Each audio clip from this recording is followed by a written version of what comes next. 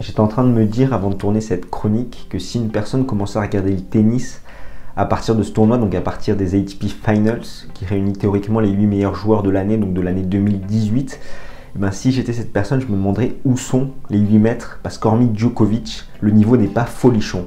Donc nous, on va un peu mettre de l'ordre dans tout ça. C'est parti, let's go Comme tu l'auras compris, on va revenir sur les phases de poule des ATP Finals. Et le moins que l'on puisse dire, c'est qu'actuellement, le niveau n'est pas terrible. On a eu des matchs assez décevants, assez ternes. Pour tout te dire, le meilleur match qu'on a eu, c'était le Isner-Silic. Ça te dit un petit peu le niveau de cette semaine. On va tout de suite revenir sur les matchs de la poule de Djokovic. Donc Djokovic qui s'est imposé sur son premier match contre John Isner en 2-7, où le Serbe aura concédé seulement 6 points sur son service.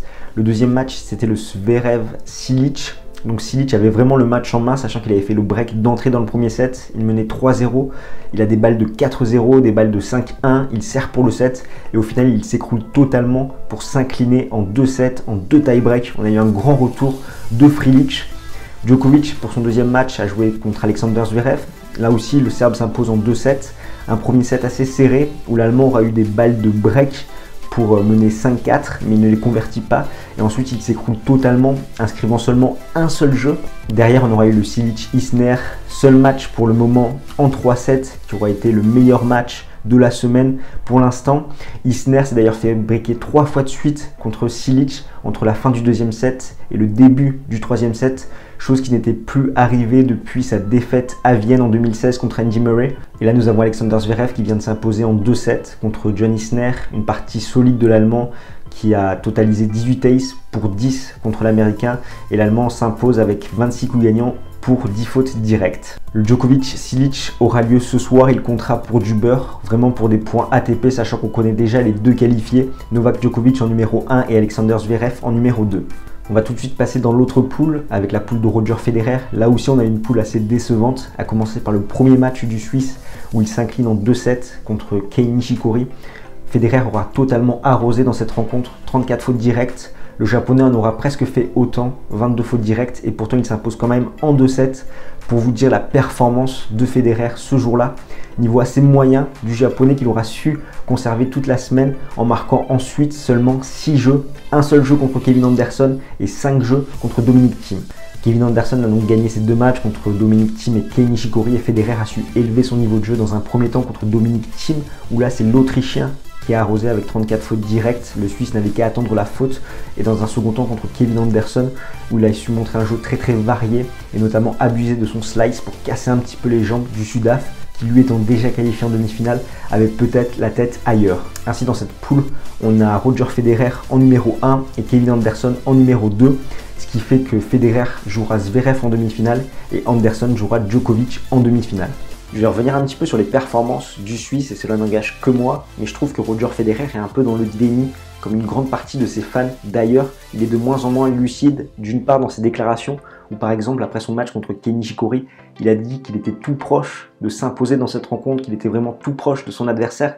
Et c'est vrai, il a eu ce premier set en main, mais globalement il a fait un match assez catastrophique, avec beaucoup de fautes directes, et d'autre part sur les choix qu'il adopte sur le terrain quand il est dans un mauvais jour.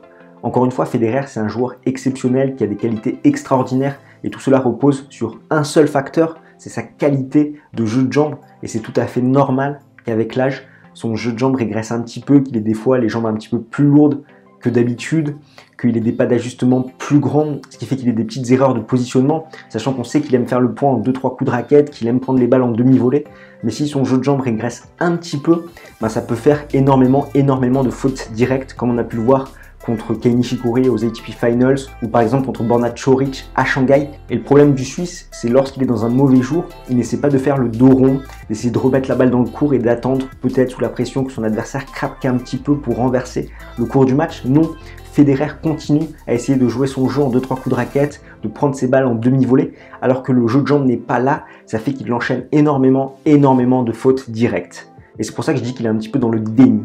Et il en va de même pour les fans du Suisse qui ont tellement été habitués à voir un Federer enchaîner les demi-volées, les points en 2-3 coups de raquette, que maintenant ils n'ont plus du tout l'habitude et ils s'offusquent quand ils voient le niveau actuel de Federer, qui est un niveau beaucoup plus approximatif, beaucoup plus moyen chez le Suisse, mais qui reste un niveau tout à fait normal et bien supérieur à 99% des autres joueurs de tennis Et comme je le disais dans ma vidéo Roger Federer est-il fini?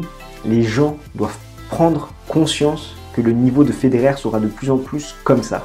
C'est vrai qu'on n'est pas aidé par les médias avec cette culture de l'instant présent, où après sa défaite à Bercy contre Novak Djokovic, c'était l'enflammade sur le niveau de Federer, c'est bon, il est de retour, etc., etc. On a eu tout le contraire dès sa défaite au premier tour aux ATP Finals contre Kenny Nishikori. Maintenant, ça revient un petit peu sur la hype du Suisse, qu'il est sorti pour la 15e fois en 16 participations des phases de poule aux ATP Finals. Après voilà, faut pas oublier que depuis 8 mois, Federer c'est deux très bons matchs, un contre Nishikori à Shanghai et un autre contre Djokovic à Bercy, 4 victoires contre le top 10, 5 défaites. Voilà, je referme cette parenthèse sur le cas Roger Federer, on revient aux ATP Finals avec ses demi-finales Djokovic Anderson et Federer Zverev. On espère avoir enfin de beaux matchs à Londres. Et pourquoi pas enfin que Zverev montre son niveau tennistique? Parce que c'est vrai qu'hormis se plaindre que la saison est trop longue, l'Allemand n'a pas fait grand chose. Je rappelle quand même qu'il a 16 ans de moins que Federer, qu'il a seulement bien joué 4 mois dans l'année, et pourtant le petit, il se plaint. Ah, c'est jeune, toujours à se plaindre. Enfin bref, dans mes pronostics, je vois quand même une victoire de Djokovic et Federer pour les retrouvailles en finale. Voilà ce qu'on pouvait dire pour cette semaine à Londres pour les phases de poule. N'hésite pas dans les commentaires à nous donner ton avis, à lâcher un petit like si tu as aimé la vidéo, à t'abonner à notre chaîne pour ne plus rien manquer de l'actualité tennis, à nous suivre sur nos petits réseaux sociaux. Et nous, on se retrouve très très vite pour débriefer de la fin des ATP Finals. D'ici là, porte-toi bien. Ciao ciao tout le monde